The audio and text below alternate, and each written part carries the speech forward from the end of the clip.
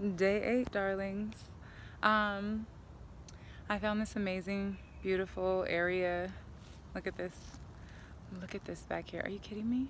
I was like, this is so beautiful. Like, is this real life? So check this out, right? Look at that. Are you kidding me?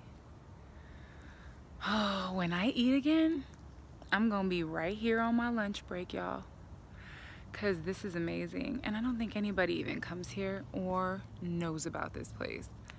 So of course I discovered it and I'm very excited because I used to actually do like a little meditation on the side of this but I didn't even know because I didn't come this way. But now it's on and popping.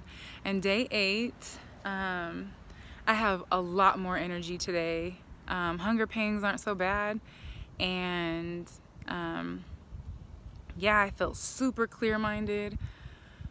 Um, it's it's really been a hell of a lot better than the last two days, and I'm very excited. And I hope that shortly my hunger pangs will go away because I do remember that happening.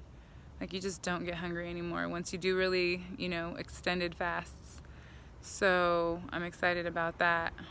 Um, and uh, yeah, I'm just kind of enjoying a little bit of sunlight and um, this beautiful weather we have out here in Georgia today.